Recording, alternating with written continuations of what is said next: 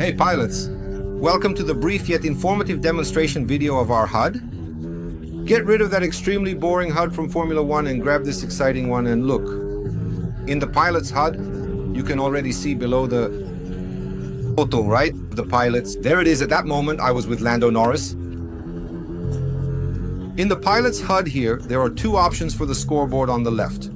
In this format, it only shows the initials of the pilots and also the name with the full name. You'll see it there. Throughout the video, it will also go, you'll see various brands and logos appearing. You can see all the information on our official website. Look, there's another one appearing right there. There's also the radio from Allo, which is there to show you, and you can do it in two ways. If you're playing on your PC, you can put it directly on the screen. There's an explanatory video here in the description on how to put it on the screen for more details.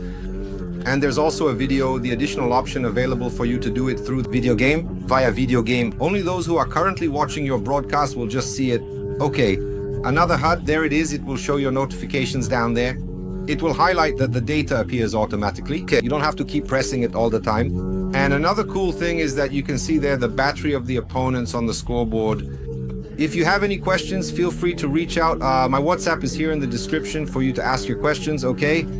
And to acquire this data as well. There, the website is also in the description. I'll leave all the links I'm talking about here in the description. Oh, so don't worry, you won't miss anything.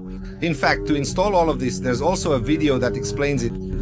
There you go, literally another HUD showing the time difference. Another cool thing is the beak, the wing break, Look, at this moment I broke the wing. Look, it dealt approximately 75% damage. Here, our HUD shows in numbers, right? Not in color like it is in the game, okay? And then for example, ah, but what about the HUDs in the game? If you want to keep them, you can customize the game's HUDs. You can make it smaller, remove one, add another. So this function is also available in the game. Okay, you don't lose anything. And also after you purchase the product, you'll have access to a WhatsApp group where you can chat. Oh, put this in, take that out. How do I add this thing? And so on, you know? So you'll have full support by getting our HUD Here's another one. It shows the fastest lap, who set the fastest lap too. And you can also change it to the list of names from the league. If your league, the league you race in here, for example, if it's the stop and go, we, oh, there's another HUD showing up there. We use the list of names. If you get the HUD here, you can put the names of the pilots from the league, okay? So here you'll have access and the names of the pilots will show up. Speaking of the pilots' names, it's over there on the left, the full name. This is the version, you receive both versions?